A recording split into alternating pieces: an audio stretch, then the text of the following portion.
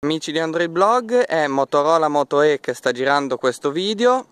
Andiamo subito a tentare un controluce, intanto abbiamo fatto anche un movimento veloce per vedere l'adattamento alle luci di questo Motorola.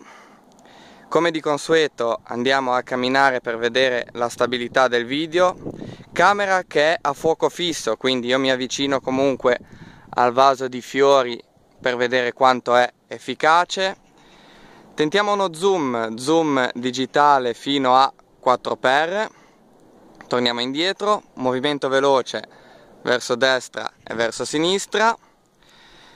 Per questo video girato alla risoluzione massima di 480p dalla camera da 5 megapixel di Motorola Moto E.